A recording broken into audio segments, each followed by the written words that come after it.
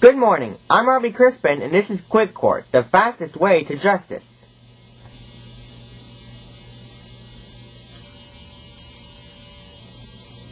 We're here today in the case between the Sugar Smash Company and Jimmy Lee Marcus. Jimmy is suing the company for finding a cockroach inside of his cereal box. It was hidden inside the bag. Gross, isn't it? What makes it more suspicious is that there has been legal trouble between the company and Jimmy in the past. Let's see what our Sugar Smash representative has to say. First of all, said Representative, I have nothing personal against Jimmy. And I also do not work in the production room, so I would not know about any cockroaches that made their way into the boxes.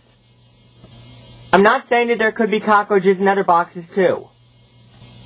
He defended himself by saying that a health inspector did come to inspect the factory. Once, he confessed. I'd say this speech encouraged Jimmy. Or at least it would have if he was here. I wonder where he and his personal attorney Fred are. At the moment, Jimmy was just getting permission to leave school. We're still gonna win this case, laughed Jimmy. The box of cereal with the it is already at the courthouse, reminded Fred. And everything else we need is in this briefcase. Let's hurry, they might be starting without us. They went as fast as possible to Quick Court. Look at this, said Jimmy. It's the graveyard where we first met. Well, so it is, agreed Fred. I really don't remember why I was here anyway.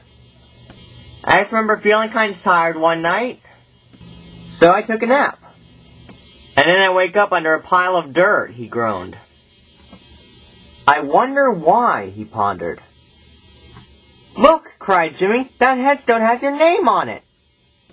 Fred was shocked. I'm dead? They must have buried you by mistake. Fred snorted.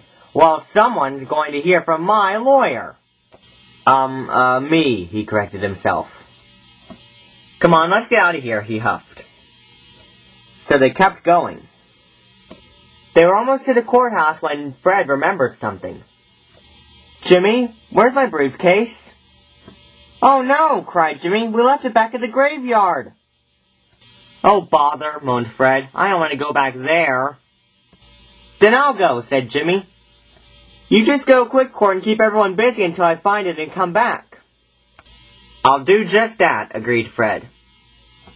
Meanwhile, at the courthouse, Please rise, said the bailiff at last, for the Honorable Judge Susan Triton.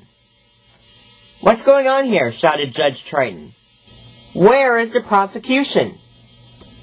I'm here, Your Honor, said Fred. But my witness is not. In the meantime, he wants to play charades. Hold it, boomed a voice. It was the man from the newspaper. Now, seeing as I am with the local newspaper, I should know one thing. Fred, can I go first? Certainly, my good man, said Fred. Take your time, groaned the judge. This is my last case today anyway.